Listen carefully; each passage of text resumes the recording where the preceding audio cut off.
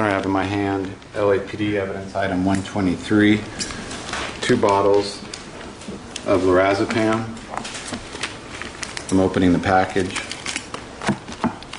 They are each previously labeled LAPD item 123.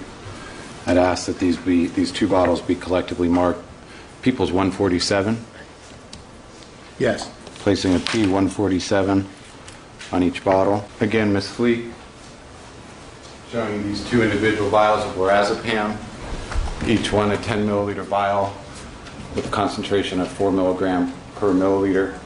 Uh, One of these appears to be capped and unopened, Yes.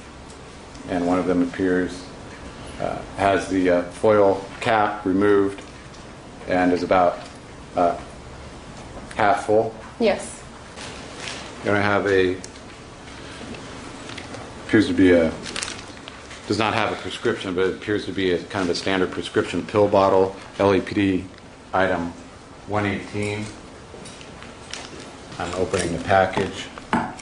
The label indicates it's from Applied Pharmacy Services, previously labeled as 118, containing ephedrine 25 milligram, caffeine 200 milligram, and aspirin 80 milligram. May this item be marked People's 148 for identification, Yes. placing a P148 on the bottle. Was this found inside the Baby Essentials bag, Ms. Fleak? Yes, it was.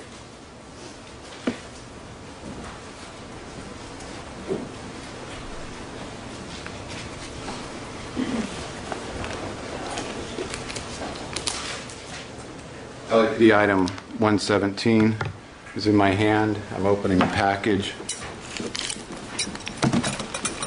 It is a, appears to be a bottle of lotion labeled 117 from Applied Pharmacy Services.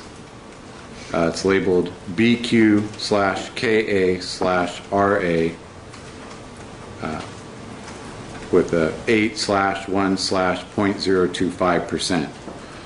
May this be marked People's 149 for identification, Your Honor? Yes.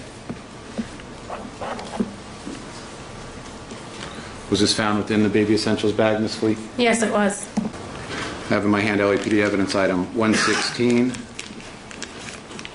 It is labeled 116, Bausch and Lomb uh, eye drops. May this be marked People's 150 for identification, It is. placing a P150. Were these eye drops found within the Baby Essentials bag? Yes, they were.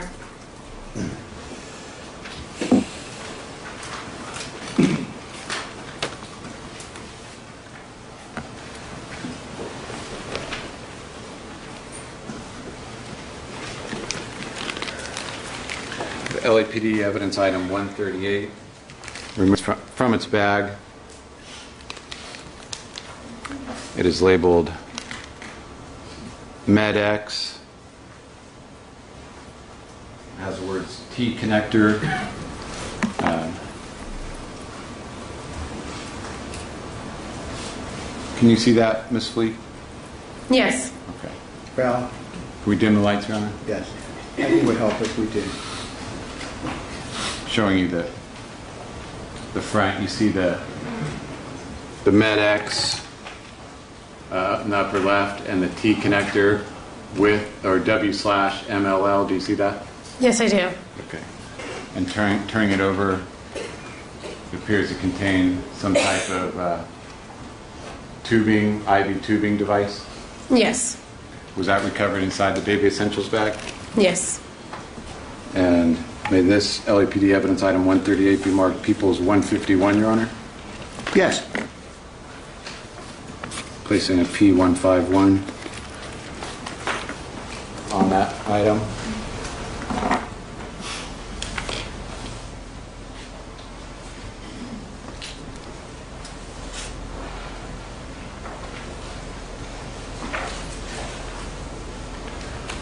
Have what appears to be a blue tourniquet. We have the lights back, please, thank you. Thank you. Uh, LAPD evidence item 137, Your Honor.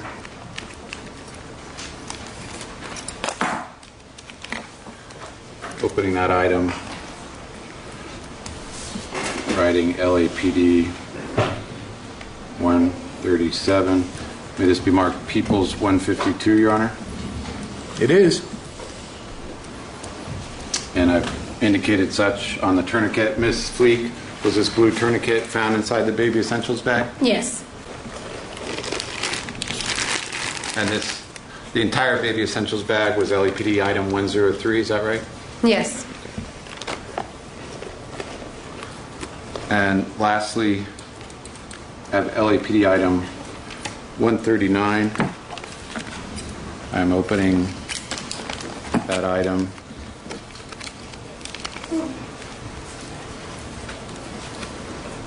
I have uh, five individual business cards indicating Acres Home Heart and Vascular, Conrad Murray, MD, in Houston, Texas. May each of these five cards collectively be marked Peoples 153 for identification, Your Honor. Collectively, 153. I'm placing a P153 on each card. Ms. Fleak, were each of these five business cards found within the baby essentials bag? Yes, they were. On this same day of June 29th, 2009, did you also recover and book into coroner's evidence the saline bag and IV tubing that you had observed on 62509? Yes.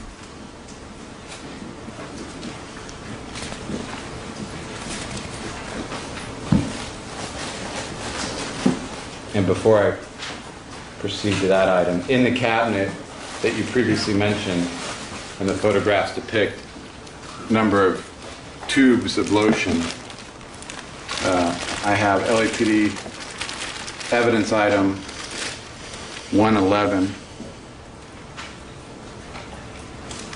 which is 18 tubes of hydroquinone, quinone, 8%, the label being applied, pharmacy. May this bag collectively be marked Peoples 154, Your Honor, Yes. placing a P154. That, those lotion, tubes of lotion were recovered in the cabinet next to these bags? Yes.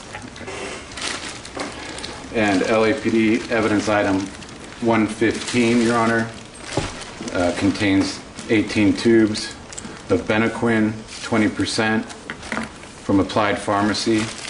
May this collectively be marked Peoples 155 for identification? Yes. Were these 18 Benoquin tubes also recovered from the cabinet Yes, they were. next to the bags you've previously testified about? Yes.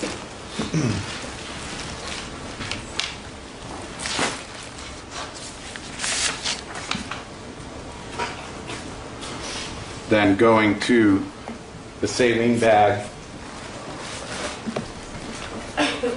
and IV uh, tubing. You recovered that again on 6/29/2009? Yes, I did.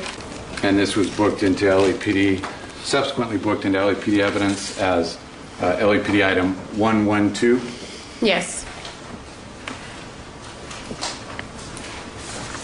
and showing you that saline bag, people, uh, excuse me, LAPD item 112. Uh, Is this the saline bag that you recovered from the IV stand on June 29th, but it observed on June 25th? Yes. May the saline bag uh, be marked Peoples 156 for identification, Your Honor? Yes. Placing a P156 on the bag itself. Additionally, Your Honor, I have uh, IV tubing uh, with a spike at one end, uh, appears to be a roller clamp, uh, and plastic device attached to the tubing. Uh, May this tubing be marked, uh, although booked as the same LAPD evidence item 112, may this be marked Peoples 157 for identification? Yes. And I'm going to place a P157 on the plastic chamber at the end of that. I also have a, what is referred to as uh, a Y connector with tubing, uh, also from LAPD evidence 112. May this Y connector with attached tubing be marked as Peoples 158 for identification. Yes. I will attempt to place a P158 on this. Ms. Fleak? This Y connector tubing, was this actually Lights, please. attached to and part of what has been marked People's 157 when you recovered it? Yes. Okay. And it was subsequently spliced for uh, toxicology analysis? Right. And when you recovered this saline bag and it, and the IV tubing draped over the IV stand, was there also a syringe with attached needle in the port of this uh, uh, Y connector or Y, Y port? Yes. Okay. And again, booked as LAPD item 112. uh, It is now capped and in a Sharpie container, Your Honor. May this be marked People's 159 for identification? It is. And Ms. Fleak, holding up what's marked People's 159. Uh, Do you see this plastic cap here covering the needle? Yes. Okay, that was placed on the needle after it was recovered inside the port of the tubing. Yes, for storage purposes. And going back then to People's 25. Just to be clear then, the saline bag hanging from the IV stand as depicted in People's 25, that is People's 156 that we've identified here today? Yes. and the IV tubing, including the Y connector, that is what's shown hanging from the IV stand, not attached to the saline bag, but hanging from the IV stand in People's 25? I'm sorry, can you repeat that? is what I'm holding here, People's 157 and 158, which is the IV kit, right? Yes. Okay.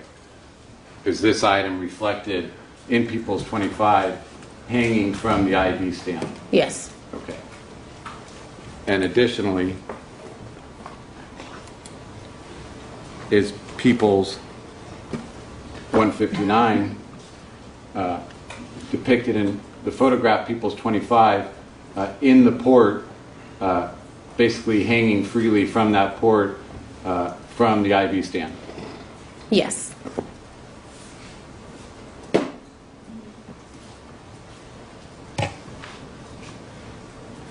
And collectively, well, before going there, I have item, LAPD item 133, Your Honor, which is the, a splice section of the end of the IV tubing. Um, It has, contains blood, and I'm going to leave it in its evidence envelope. May this be marked People's 160 for identification? It is. Ms. Fleak, are you aware of what's contained in People's 160? Yes, I have to refer to my notes. Is this the, the end of the IV tubing kit that was cut off for purposes of analysis? The tip, yes, it is. And were these items specifically people's 157, 158, 159, and 160 collectively booked into the coroner's evidence as medical evidence number two? Yes, they were. Ms. Fleak, following your recovery of these items, were they subsequently taken into the coroner's evidence and processed uh, for various um, testing as was necessary or held in evidence? Yes, they were. One last area I want to ask you about, Ms. Fleak.